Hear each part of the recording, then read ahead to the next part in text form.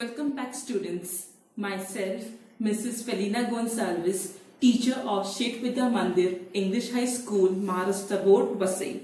Today we are going to learn chapter 5 of science for standard 6. The topic is substance in the surrounding, their states and properties.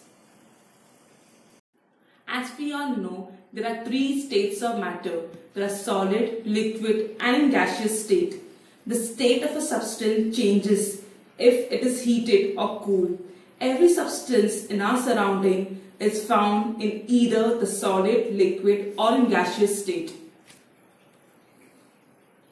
Now let's know about change of state of the substance. To understand this, let's do some activity. Take a piece of wax in a bowl and heat them on a candle or spirit lamp. Now observe the changes. How do the piece of wax change? What was the initial state of wax? What did it get converted into? Now keep the same bowl in cold water and observe what happens. From this we can find out that when a substance changes from one state to another, the process is called change of state of the substance. In the past, in 19th century, the scientist J. Willard Gibbs showed that the characteristic properties of a substance depend on its physical state and the arrangement of its particles in it. Now let's learn the difference between the states of substance. As we know, there are three states of substance, solid, liquid and gaseous. Solid has a shape of its own which is retained. Retained means continue to hold. Whereas solid has a definite volume, form a heap. Heap is a large amount if emptied on the flat surface. For example, metal, pieces, sugar, salt, etc. Liquid. Liquid do not have shape of its own. It takes the shape of the container in which the liquid is kept. Liquid has a specific volume if it is kept in a container, it occupies the shape of the container. But if it is spread on a flat surface, it starts flowing. For example, water, oil, milk. Whereas gaseous occupies all the available spaces as it does not have shape of its own. It does not have fixed volume.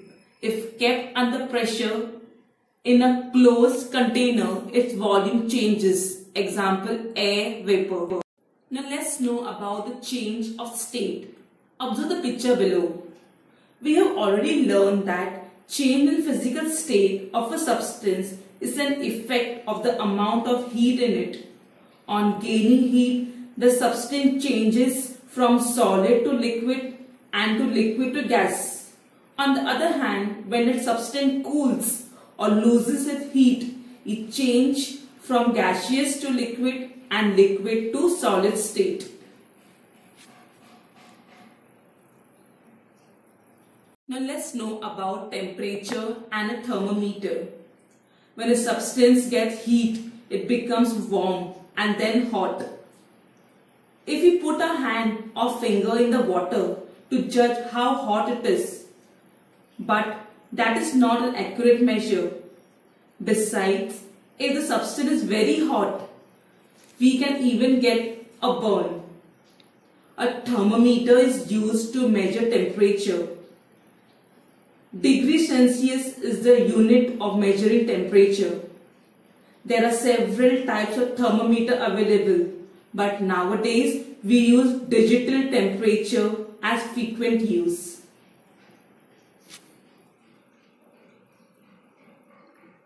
Know about boiling.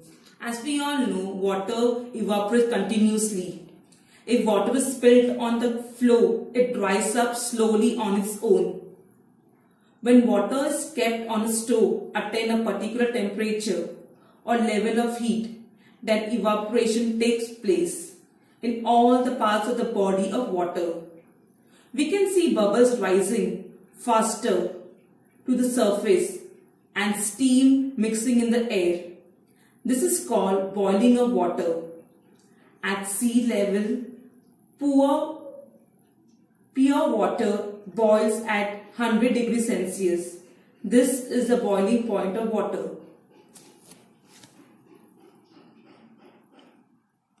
Now let's do one activity. Take a thermometer from laboratory. The bulb at its lower end is filled with mercury. The mercury rises to a certain level. You will see a scale next to the mercury column. Read the figure near the level of the mercury and note the temperature of air around the bulb of the thermometer. Now hold thermometer in water so that the bulb is completely imaged in the water. And now read the temperature of the water. Do this activity taking some hot water in one vessel and cold water or ice in another. Now note temperature. Condensation. When water evaporates, cools, it converted into water again. This process is known as condensation. Condensation of steam also take place at 100 degrees Celsius. It means that the boiling point and condensation point of water are one and the same. Now let's know about freezing. The water is kept in a fridge or on ice becomes cooler and cooler. That is, the temperature falls. At a certain temperature, water does not get any cooler but start freezing and form ice. The temperature at which this happens is called the freezing point of water. The temperature of a substance can fall below 0 degrees Celsius. Example, the temperature of air in the freezer of refrigerator is around minus 18 degrees Celsius.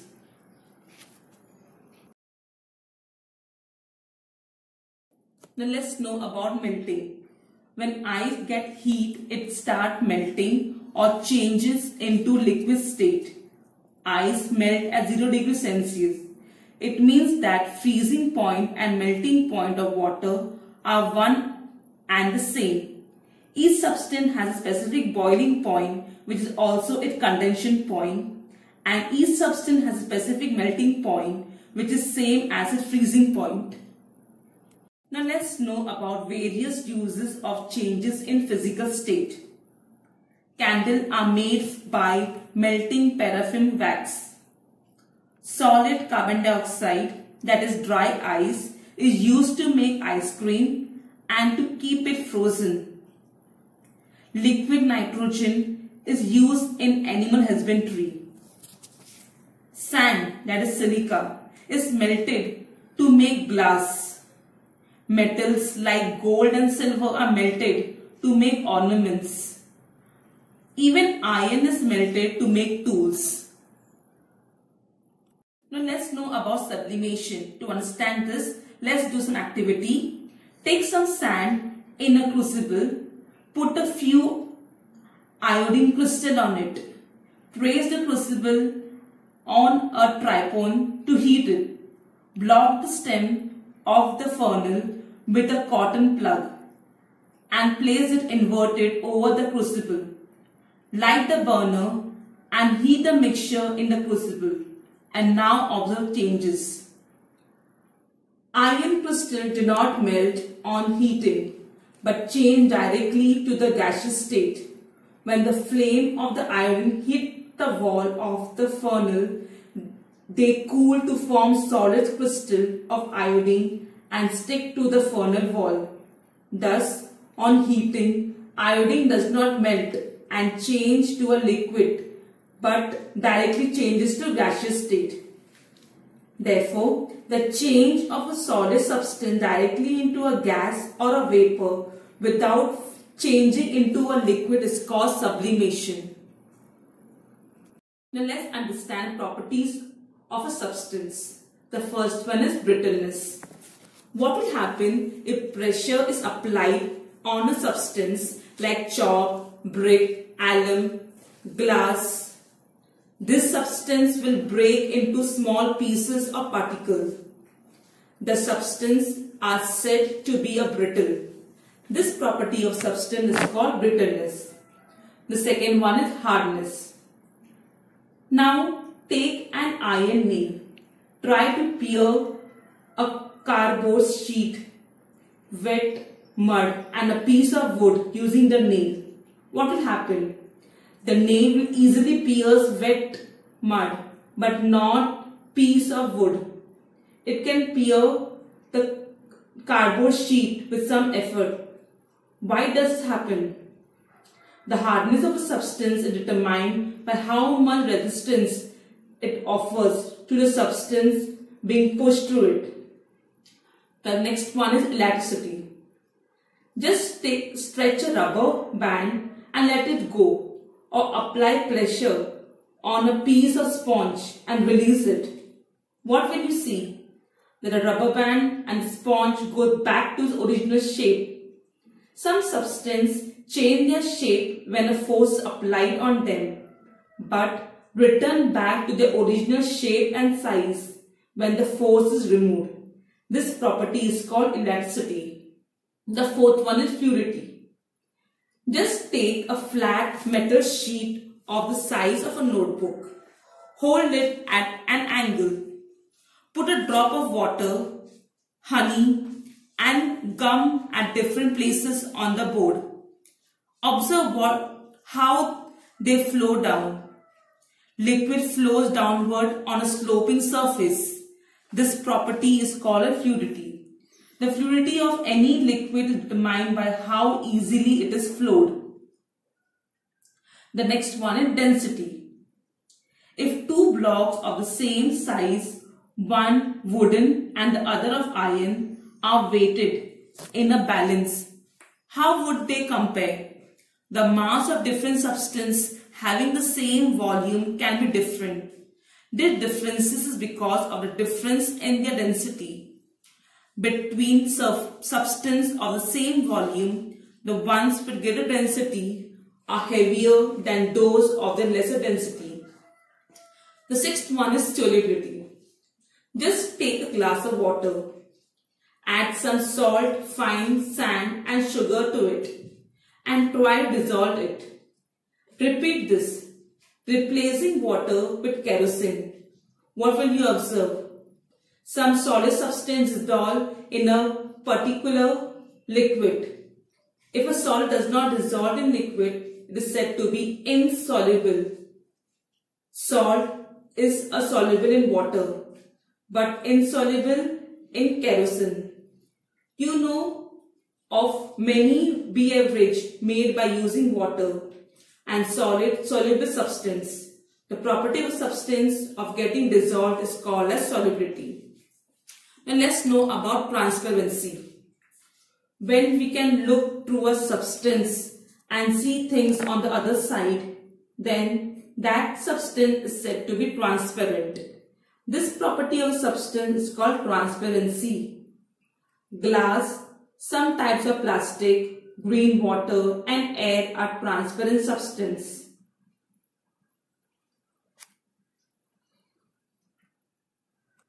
And let's know about properties of metal. What is metal? Substance like copper, gold, iron, aluminium are called metal. Metal are found in the form of minerals deep inside the earth. Minerals from the earth crush are processed to obtain the metal. Even in daily life, metal have various importance. So let's know about the common properties of metal.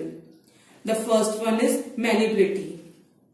Just take a piece of copper or aluminium wire or a small nail. Hammer it continuously. On hammering, the wire becomes flat. That is, it is in the form of a thin sheet. Metals can be converted into sheet by hammering. This property of metal is called malleability. The next one is ductility. Just take a hot iron hammer and made into a thin sheet. Even you can visit a blacksmith shop. Iron bars made to involve continuously while being hammered become longer. The iron can be drawn into a wire. Metal can be stretched and drawn into wire. This property of metal is called ductility. Metals like silver, gold, copper can be drawn into fine wire. The third one is electrical conductivity. Electricity flows through metals. All the metals are conductor of electricity to a greater or lesser extent. This property is called electrical conductivity. The fourth one is thermal conductivity. Even when a piece of a metal is heated at one place, the whole of it becomes hot. It shows that metals allow heat to flow through them. This property is called thermal conductivity. Now let's know about sonority. Plug the string of a musical instrument like tambura, veena and ring a bell or heat a sheet box with a metal spoon and strike a wooden table or a marble floor with a wooden stick. Observe the difference between the sound. Metal produces a ringing sound. This property is called sonority of metal. The last one is characteristic color and texture. Metal have a typical shine or texture. Every metal have characteristic color by which it can be identified.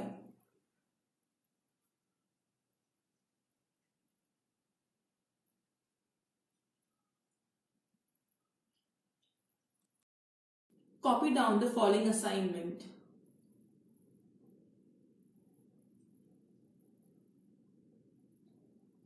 Thank you for watching the video.